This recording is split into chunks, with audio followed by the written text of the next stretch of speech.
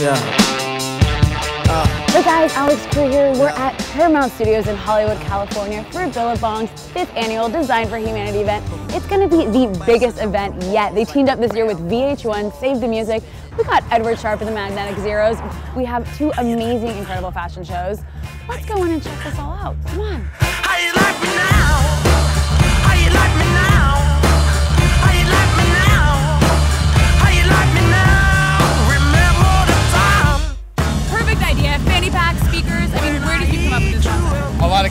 Started bringing their 80s flair back to the beaches and there was like that light bulb moment where we were like 80s uh, fanny packs bright colors and portable music i gotta make a fanny pack speaker bag How legit are these? We just hit up the Jammy Pack booth. It's a fanny pack with speakers for your iPod. What more could you want? Here we go again, give you more, nothing lesser. Back on the mic is the antidepressant.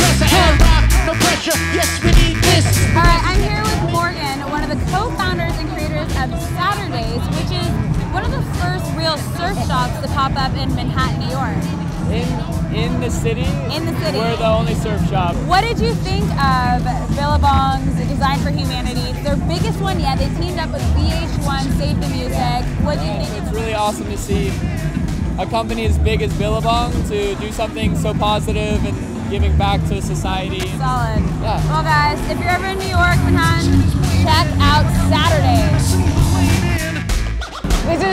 We're on set. There's food trucks on every corner. We got music blasting. Now this is Nelly.